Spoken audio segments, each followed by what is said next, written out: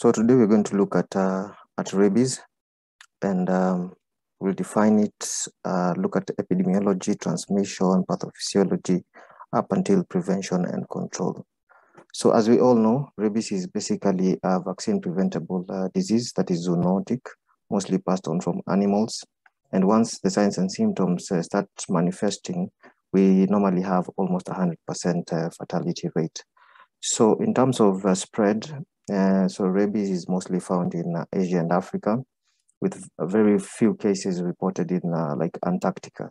So these are a neglected tropical disease that is commonly found in uh, the third world. And um, the population that is normally affected is children under the age of 15. Um, so rural areas bear the brunt mostly, uh, more than urban setups. So as you can see in this uh, map of the world, Asia area is significantly affected in Africa and some patches of, um, of South America with very minimal cases in um, Europe and um, Americas. Okay, so in terms of the agent that causes this disease, uh, we know it's caused by the rabies virus, which falls under the family of uh, Rhabdoviridae, uh, and also the genus is Lyssavirus. So Rhabdoviridae is um, is a Greek name for rod-shaped kind of uh, viruses, and you can see they look like bullets. Yeah, so that is the shape of uh, viruses, and uh, the rabies virus is a single-stranded RNA virus. So in terms of transmission, uh, mostly uh, we get this, as we said, it's a zoonotic disease. So we, we, mostly get it from animals. So wild animals that are reservoirs for this kind of virus include jackals, mongoose, hyenas, uh, but that can also be passed on to um, domestic animals like dogs and cats. So the transmission mostly is via bites, and for human transmission, dogs account to the highest uh, amount of transmission or the cases that we have in human beings. So normally it is it is passed on by uh, a bite, or if somebody comes into contact with the saliva of a rabbit animal. Okay, and then this one starts going into the body up until it affects the nervous system. So in terms of how it actually happens is that you get a bite, then this bite, uh, you get an inoculation of the virus. The virus starts multiplying in the muscles around the area you've gotten the bite. Then um, this is this one is passed from the muscles to the peripheral nerve via the neuromuscular junction, and in the nerves that is where now multiple and multiple uh, replication happens, and it passes on from the peripheral nerve to the central nervous system, once it gets to the central nervous system, it is now passed back to other, to autonomic uh, nerves, to other organs, including the salivary gland, where ideally the virus does this for protective, uh, for to perpetuate uh, its, its, its um, existence, because ideally it should be passed on to other hosts uh, through the saliva. Okay, then um, the transmission is supposed to continue once it is passed to the salivary gland, because now the saliva can be passed on to some other host. Yes. Okay, so in terms of the incubation period, it, it, it, it has a wide range because we clearly don't have a defined uh, specific time. So people put it at, scientists put it at between two weeks and one year, but uh, typically it takes a couple of months between before the we start having the symptoms um, of, of, of rabies. However, this depends on certain factors, and that's why we have the huge variability.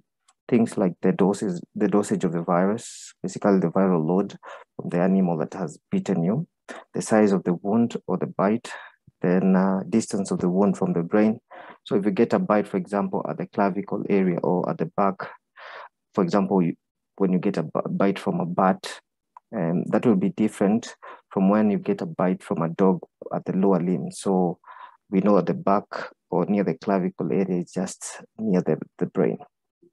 So that individual host factors like immunity uh, and other factors might play a role in how fast it progresses. So rabies can progress in, first of all, you can have the first, the early stages symptoms uh, like fever, headache, such kind of uh, signs and symptoms, which are not classical or specific to rabies. However, from there, we'll have two distinct forms that are classical for rabies. That is furious rabies. It's normally seen in 80% of the cases. And then paralytic rabies are, are seen less more often. Uh, so the prodromal features include now what we've talked about, what we see in the very early stages, fever, headache, nausea, vomiting, and such like uh, symptoms. Then we have furious rabies, which include now agitation. This is because now the, the, the virus is clearly affecting the nerves and the speci uh, specifically the brain, the central nervous system. Then you have inflammation, then encephalitis. Then you start having the CNS signs and symptoms like seizure, hallucination, um, all these uh, signs and symptoms. Then hydrophobia uh, is a classical feature for rabies, and this normally occurs when you start having painful contractions of the diaphragm or uh, of the diaphragm and also respiratory muscles, including the laryngeal muscles. So this uh, is uh, an important thing to know because even just even just taking in your saliva or taking in water, it will be expelled uh, violently, okay, uh, by the painful contraction. So that is the hydrophobia that occurs. We might also have some some um, stimulation still of the laryngeal muscles and uh, that area with just the draft of air. So that is what we call aerophobia. So later on, we might have other complications like cardiac failure, respiratory failure, and um, that and multi, multiple organ uh, failure. So the paralytic rabies form, as we say, occurs in almost 20%, where you start having paralysis, especially from the area that has been beaten. But this can also lead to other things uh, like coma, uh, death. In very few cases, we have a recovery. Okay, so this is just showing the progression um, of the disease. So from the time that you get the disease, you, from the time you start showing the signs and symptoms, we, we, we now know that death is almost certain. So you only take a few days, uh, less than a week, and death will be uh, inevitable. So in terms of uh, contact, we said contact with uh, the saliva. So we can have different categories of contact, like category one, which we, we call it no exposure. Basically, they're just touching or feeding of animals, but you have an intact skin. So the animal is licking you, so the saliva is there, but you have an intact skin. So very little chance of you actually getting the, the virus. Then you have category two, where we call it an exposure category. So the skin is a bit uncovered or you have minor scratches or abrasion and then you have now an animal coming into contact with you uh, or licking you.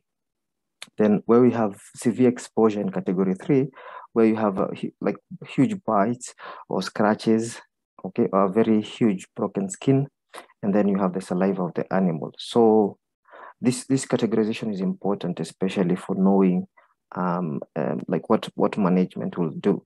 Like for from category two and three, uh, post exposure uh, rabies vaccination is important. Actually, it's mandatory.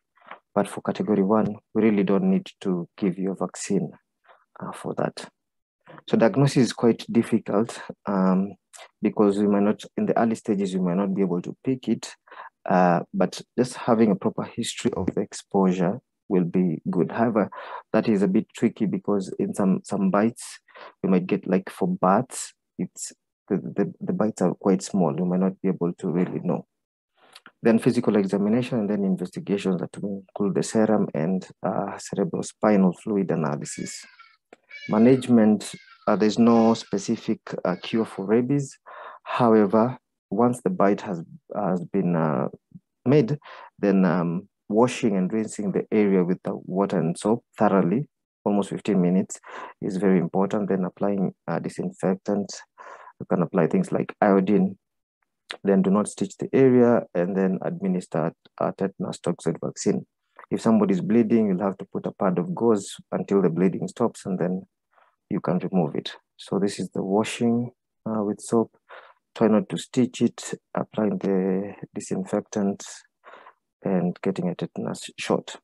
Then from there, then giving anti-rabies vaccine. Uh, this is uh, very important and we normally have a schedule a five um, five dose uh, schedule intramuscularly given uh, in day 0, 3, 7, 14, and 28. So within a month, we should be done with the, with the vaccination. This is for a person who has never been vaccinated against um, rabies. However, if you have actually been vaccinated against it previously, you just get two booster shots of at day 0 and day 3.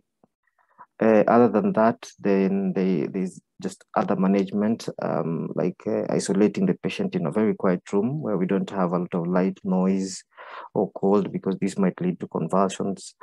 Then we have um, pain uh, management uh, for the anxiety and the irritation. We give sedatives, antibiotic, especially for the wound area, and then respiratory support because we said respiratory muscles might be affected to the point that we they're not functioning well. So we need even to give oxygen. So prevention and control include things like um, now for those people taking care of these patients, uh, face masks, uh, complete PPEs, basically apron, gloves, and uh, for those who have bruises and cuts to uh, try not to actually uh, take care of this patient. So pre-exposure prophylaxis, especially uh, for people who are come into contact with animals or work with animals or taking care of patients who have rabies. And then post-exposure prophylaxis uh, using the normal schedule you've just talked about after exposure. Uh, immunization of these animals, killing um, wild and stray dogs, just to euphemism, and uh, euthanasia actually. Yeah, they, uh, they just kill uh, all stray dogs. Then early detection and treatment, and uh, surveillance and notify when uh, any case of rabies has been reported. Okay, so this is the pre-exposure prophylaxis. Uh, then they just given um, three dosages uh, at day 03 and day 21 or day 28, and it's given normally uh, two years apart or annually. Uh, post-exposure prophylaxis is the normal schedule that we use uh, five day, uh, five doses of intramuscular injection. Thank you so much. So that was uh,